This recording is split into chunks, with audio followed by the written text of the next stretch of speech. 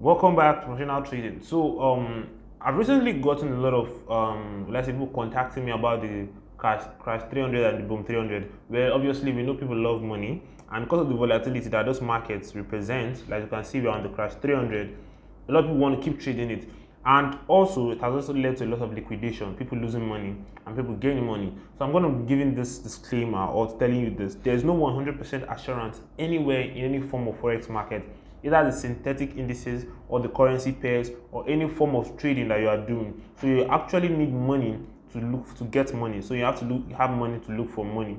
You can't go there um, using your life savings and hoping that you you flip it, you double it, you triple it just like that, without having any without having any idea or fundamental about the market. Even if you do at that, you don't have to trade your all in all. You have to go get a job, a nine to five, or any form of job, something that can get you a, certain amount of income or more like a stable income while you trade on the side. Now, before you become a full-time trader, you would have probably traded for a long time and raised enough capital or enough funds for yourself for personal use and other investments before trading. Trading cannot be your only and major source of income.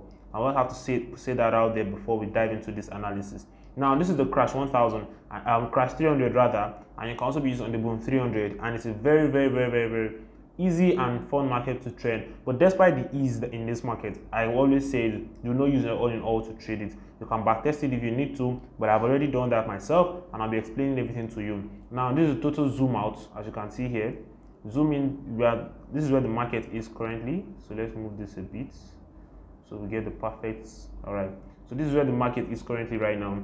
And you can see here that um, we're going to be using just two major indicators very very very very, very easy indicators. And you can already predict um, how these indicators are going to work already by looking at my screen. So let's dive in and let me explain these indicators out for you. Now the first indicator we have here is the relative strength index followed by the ichimoku kinko hyo. Now the relative strength index has these parameters then apply to close simple and the color should just be the color of your background.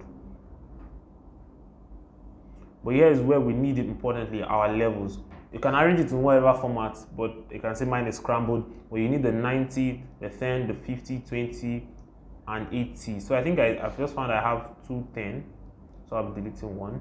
Alright, so we need 90, 10, 50, 20, and 80. Those are the levels we're going to be doing for our relative strength index. And you click done. And after that, we're going to go back in and set up for our Ichimoku Kinko Hyo. And these are, these are the parameters for the Ichimoku. You have it at 5, 4, 2. Very simple, 542. And then those colors should be the colors of your background, except the first one, which is red. Now you can take a screenshot of this if you need to, and then you're done. Now, obviously, the relative strength index is the box down here. Then the red lines in here are the Ichimoku, or is the Ichimoku now. So right, let's dive straight into what we have here. Like I said, we have a total zoom out. You can zoom in for further confirmation, but the level at which you use this um, indicator is to zoom out totally. And now with the current market pair and what's going on in the market, let's zoom in one. Good. So just zooming in once, we can see, we can get a better view of what the market is about doing. So you can see here that at this peak here, which is duplicated here, we had um, a crash. That's a moving downward movement of the market. And we can say that you can point out here that where this happened around here, moment the market got in, crossing through the 80 level, heading towards the 90. So in between the 80 and 90 level, you can see that the confirmation came in for a spike, um, which is downward in a crash market. So the spike happened, it, kept, it came here, several spikes happened, and it kept happening. But the market went up. Now the 50 level is going to be our take profit level and our hold level. we can see on here that the market went up before touching the 50 level. Either ways, if you have gone out of the market, you wait for it to redo this again, where it went back into the 80 level, and you can see it sold till it got to the 50 level. You can see that they sold till it got to the 50 level, and then you're out of the market. You're going to let the market play out whatever way it wants to. And the current method of what's playing out right now is the market heading down okay. Is the market heading down totally and heading for the 10, uh, 10 and 20 level? So we have to wait for it to get to that point and once it does you can probably trade it back up again for a buy since it's a crash market. You can see here you can see on here each time the market made that touch here But if we move this market a lot, you see that it was not a confirmed touch. So we don't have, we never experienced a lot of spikes. But you can see on here where there was um, um a lot of um, selling, oversold market. The buy came in.